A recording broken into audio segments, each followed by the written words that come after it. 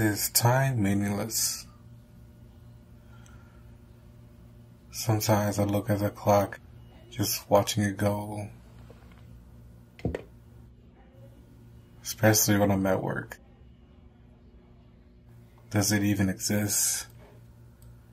Time stops, and it goes.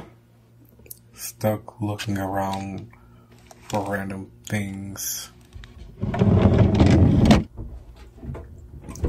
Trying to kill time.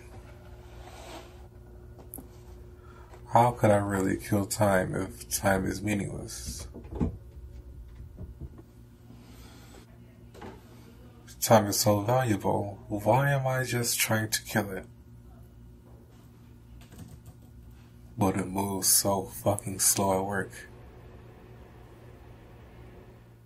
Maybe I'll find a creative way just to kill time. Sometimes I think I'm just killing time until time kills me.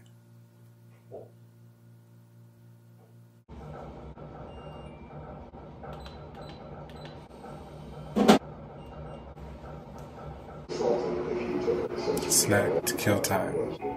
Coffee. Kill time. Break. Break time. Killing time. Sleeping to kill time. Doing whatever we can just to forget time.